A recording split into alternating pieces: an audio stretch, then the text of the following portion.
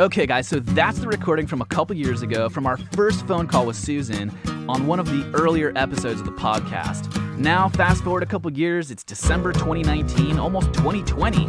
We've been making albums and making podcasts, and we're even playing our songs at some of the local pubs in town.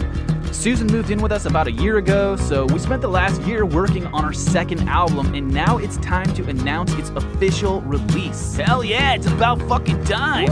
Ooh, yeah! A second album! This is so exciting! So get this, we're releasing a 10 song album. It's an acoustic punk album, and you can go listen to it right now if you want. Just go to bandcamp.com and search An Innocent Escape Worth Paying For. But it's actually still not done, and you're probably asking yourself, how could the new album be published on Bandcamp if it's not done? Well, you see, what we're gonna do is we're taking bits and pieces from these next 10 podcast episodes, and we're inserting those bits in between the songs of the album so it's more fun to listen to.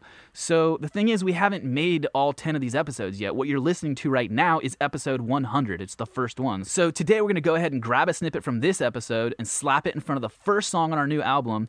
And then every time we release a new episode, we'll cut a snippet out and stick it in front of the next song on the album.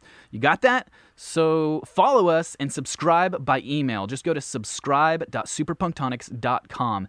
Seriously, subscribe by email because it's the only way to access all the XuperpunktoniX stuff.